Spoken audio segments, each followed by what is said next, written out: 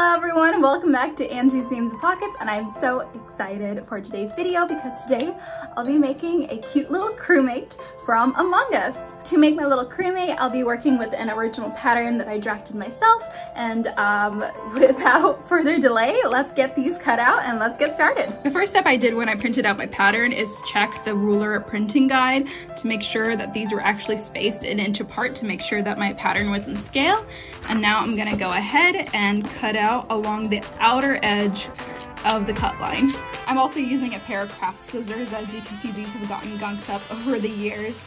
Um, so I'm not afraid to use them on paper. Try not to use good scissors or the scissors that you'll be using to cut out your fabric with these. Now that I have my pieces cut out, I also need to cut out the center of the where the visor is gonna go and then the square here where the backpack's gonna go. So to get to, into the center of the pattern, I'm just gonna kind of fold it, make a nick, and then go off of that nick to cut out my square.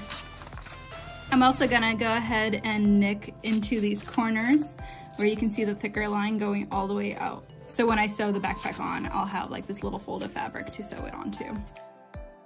So now that my pattern pieces are cut out, it's time to grab my materials. So first off, I'm gonna use this beautiful red for my little crewmate's body. I'm gonna use this holographic silver for the visor. And because this fabric is a four-way stretch and it will not hold its shape properly when I make it into a plushie. I have to stabilize it with an interfacing. And of course, we can't forget the stuffing. I'm gonna start by unfolding my fabric and taking it down to only one layer.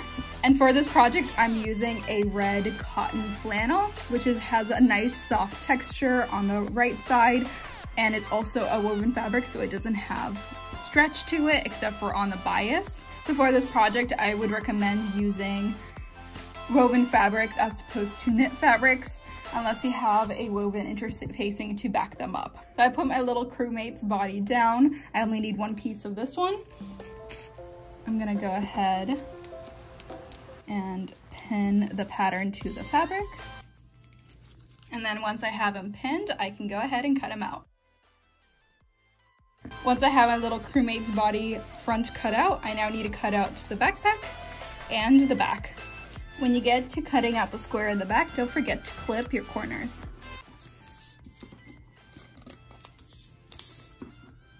And then on my backpack pattern, I went ahead and made a couple holes in the corner of where the fold line is gonna be. And I'm transferring them over using a water soluble fabric pen.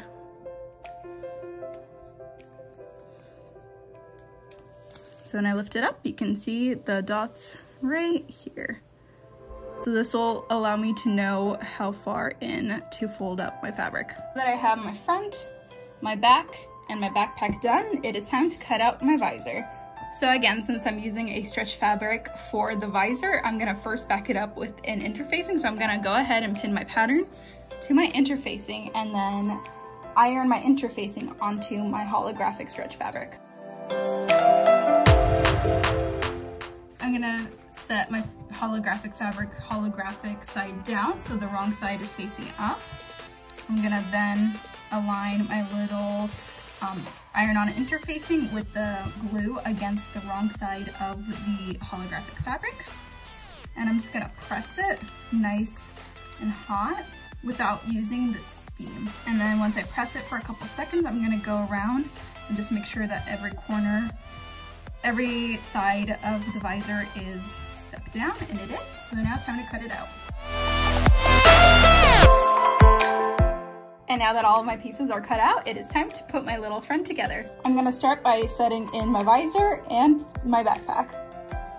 So for the visor, I'm first gonna go in and I'm gonna make sure that the hollow side is facing out. This is the wrong side of the fabric. This is the nice softer right side. I'm gonna go ahead and start pinning the visor to the edge of the visor hole, basically. First, I'm gonna line it up how I want it to go.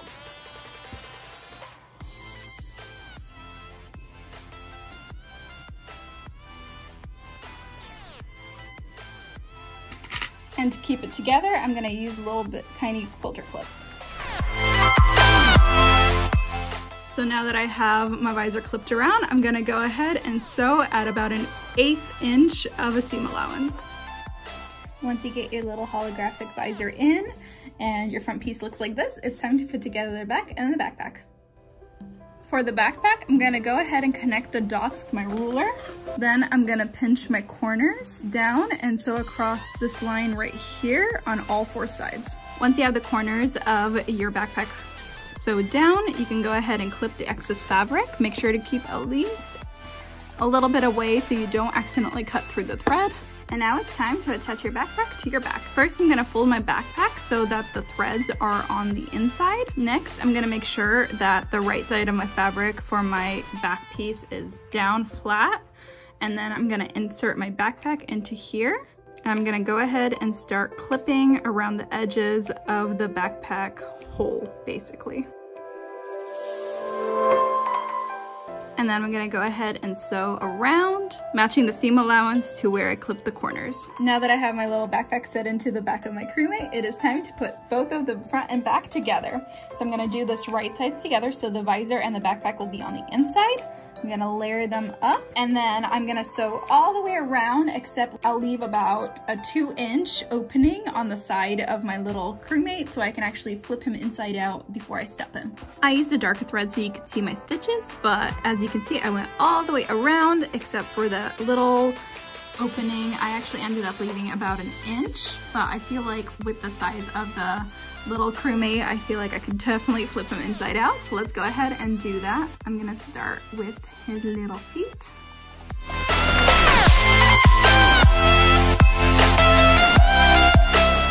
This is what he looks like flipped inside out without any of the stuffing, so let's go ahead and stuff him. I personally am using polyester filling, but go ahead and use any filling that you have. I'm gonna start with the feet, and then once his feet are nice and stuffed, I'm gonna go ahead and stuff the rest of his little body. Now that I have my little crewmate stuffed, I'm gonna go ahead and close up that seam that we left open using a ladder stitch.